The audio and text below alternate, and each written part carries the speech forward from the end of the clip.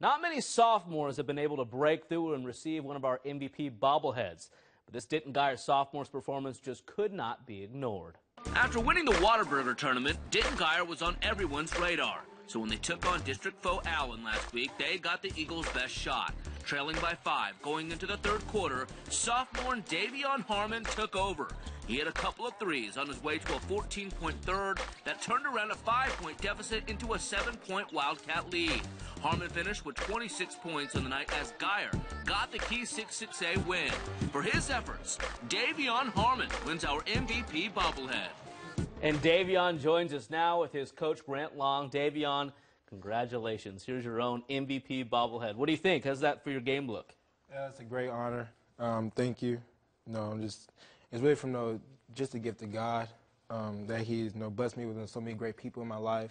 And I wouldn't be the player you know, without him, or without my family, or without this man standing right here next to me. Cause I know that you know, we go at it all the time and stuff, but um, I know that you know I'm the point guard, you know, the leader of the team. You know, I got to be able to take in everything he gives me, and you know, even all of our coaches. And I got to be locked in. I got to be ready to go every night. And speaking of being the point guard as a sophomore coach, when did he earn your trust, or what did he have to do to earn your trust? Because he got it. well, I'll tell you what. The first uh, first time we got him, we went to the Oklahoma, uh, Oklahoma State team camp over the summer, and he was an eighth grader coming out. Uh, and I'm telling you, the first game uh, that we played in that team camp against other varsities, uh, I knew right then. I knew right then he had just something about him. He has that, that it factor that uh, he has that competitive drive that you just you have you thrive for. And as a coach, when you see it, you just you know just ready to, yeah. to get him in the gym. And De'Vion, we just saw you guys took a tough loss last night, but you are the Whataburger champs and the top five state ranked team. So do you feel like you're getting battle tested? Do you feel like you've got a target on your backs, especially after you win the Whataburger? People know Denton Guyer basketball now.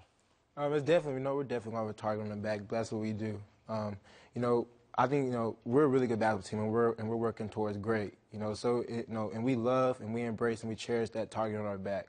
You know, so every night, you know, we have the blessing, you know, we have the gift from God, you know, to go, you know, fight with each other, you know, and go against every team, and every team gonna give us our best shot. So we gotta be ready to, you know, so we gotta be ready to, to get down the floor, get dirty, you know, and get a W. Coach, it's more than just this guy. With the, when you're ranked, you know, top five in the state. What do you like about your basketball team? Uh, first and foremost, it is, and he'll be the first to tell you to to give uh, thanks to the team. And uh, every time he makes a, uh, a player gets a pass from somebody or somebody, he thanks the passer, which is a big thing. Um, but our team, just overall, we have so many weapons. I think we have five uh, guys that are averaging uh, double digits. Um, so right there, that tells you we share the ball, and when we're at our best, we're sharing the ball together. And briefly, recruiting, it's happening. Where are you at in that process? Um, I'm just really, I'm just really enjoying it, just having fun with it, just embracing. You I couldn't do this without know, my family, know, Coach Long, know, my teammates. Know, I have the best teammates in the world. I wouldn't trade it for me, know, for anything. You know, every day I get to go to battle with them. You know, I'm, I'm having fun with it. You know, and they say, you know, the moment you're done, the moment you stop having fun with it, then you'll be done with it. But for right now, I'm, I'm gonna keep doing it. Well, I'll speak for him. He's got some big time offers because he's a big time player. Thanks and congratulations.